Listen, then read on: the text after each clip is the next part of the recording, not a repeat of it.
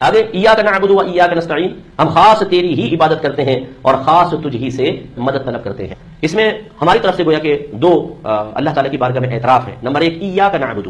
ہم خاص تیری ہی عبادت کرتے ہیں۔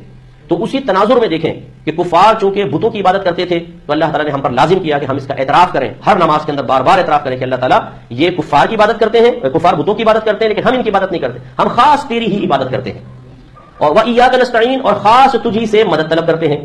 تو جب پہلی آیت اسی پس منظر میں لی گئی ہے، تو دوسری آیت کا مفہوم بھی اسی پس منظر میں متعین کیا جائے گا۔ کفار جو تھے، وہ بتوں سے مدد طلب کرتے تھے۔ ان سے کہتے تھے، ہماری مشکلات کو حل کرو، ہماری پریشانیوں کا حل کرو۔ تو اللہ تعالیٰ نے ان کے رد میں یہ آیت نازل فرمائی کہ یہ اپنی مدد کے لیے، اپنے مسائل کے حل کے لیے بتوں کو پکارتے ہیں۔ تم یہ اعتراف کرو کہ اللہ تعالیٰ ہم تیری خاص عبادت کرتے ہیں اور فائل حقیقی مؤثر حقیقی اور سب سے زیادہ بہترین امداد کرنے والا، سمجھ کر خاص تجھی سے مدد طلب کرتے ہیں۔ بتوں کی طرف متوجہ نہیں ہوتے۔ ہیں اب بعض حضرات جو ہے وہ ان آیات کو استعمال کر دیتے ہیں۔ پہلے والے کو نہیں، لیکن دوسرے حصے کو دیکھیں جی غیر اللہ سے مدد مانگنا منع ہوگا۔ نبیوں سے مدد نہ مانگو، اولیاء سے نہ مانگو، صحابہ کرام سے نہ مانگو۔ کیوں؟ دیکھیں ہم خود اعتراف کرتے ہیں، اللہ تعالیٰ ہم خاص تجھی سے مدد طلب کرتے ہیں۔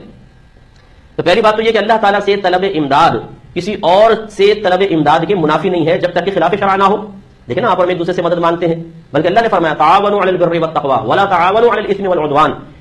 نیکی اور بھلائی کے کاموں میں ایک دوسرے کے ساتھ تعاون کرو، مدد دو ایک دوسرے کو۔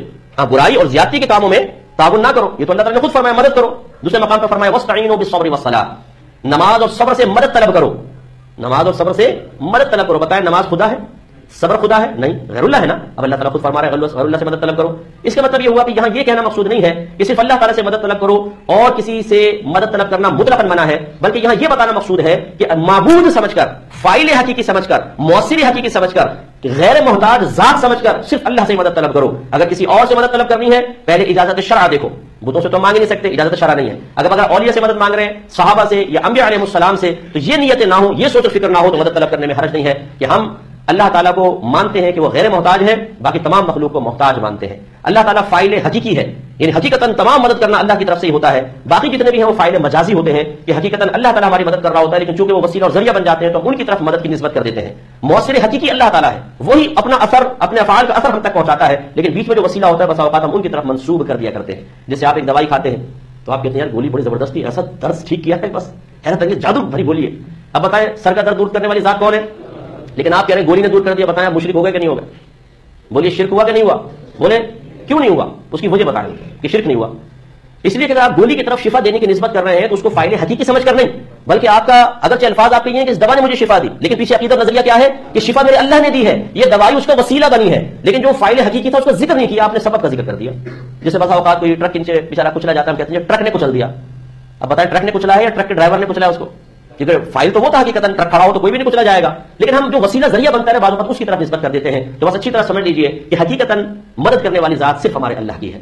اسی کے دستے مبارک میں تمام کائنات کے خزانے ہیں۔ وہ اگر نہ چاہے تو کوئی ایک تنکر اٹھا کر آپ کو نہیں دے سکتا۔ ہے ایک تنکا بھی نہیں دے سکتا۔ وہی فائل حقیقی ہے۔ وہ غیر محتاج، جس کو جب چاہے، جتنا چاہے عطا فرمائے۔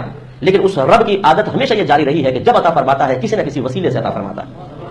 اس لیے میں اکثر کہتا ہوں کہ آپ مجھے ابھی کھڑے ہو کر بتائیں، کوئی ایسی ایک چیز جو آسمان سے براہ راست آپ کے گھر کے سہن میں گر گئی ہو۔ نہیں ہوگی۔ ہر چیز کا ایک وسیلہ۔ ایک چیز کا ایک وسیلہ بنائیں گے تو اس کا کوئی اور وسیلہ، اس کا کوئی اور وسیلہ، اس کا کوئی اور وسیلہ۔ آخری منزل اللہ تبارک و تعالیٰ کی ذات، اس کے افعال اور اس کی کرم نوازی ہوگی۔ تو بس ہم بعض اوقات فائل حدیث کی طرف نسبت نہیں کرتے، فائل مجازی کی طرف کر دیتے ہیں۔ مثلا ہمارے سرکار نے ہمیں عطا فرما دیا، غوث پاک نے عطا فرما دیا من الدین چشتی میری صاحب رحمۃ اللہ نے فیض جاری فرما دیا، یہ داتا صاحب نے عطا فرما دیا، لیکن حقیقت یہ کہنا مقصود نہیں ہوتا کہ بغیر اللہ کے دیے انہوں نے عطا فرما دیا، بلکہ ہر مسلمان کا عقیدہ یہی ہے کہ دیا اللہ نے ہے، ظاہری وسیلہ اور سبب یہ ہے، تو اس وجہ سے ہم نے ان کی طرف نسبت کر دی ہے۔ اور انشاءاللہ جب یہ وقت آئے گا، میں قرآن سے آپ کو جا بجا یہ ثابت کر کے دکھاؤں گا کہ خود اللہ تبارک و تعالیٰ نے اس نسبت مجازیہ کو قرآن میں بیان فرما کر یہ بات واضح کر دی ہے کہ اگر عقیدہ ٹھیک ہو اور پھر ہم کسی فائل مجازی کی طرف کوئی نسبت مجازیہ کرتے ہیں تو کفر و شرک کا کوئی تصور نہیں کہ یہ تو عین اسلوب قرآن کے مطابق ہے۔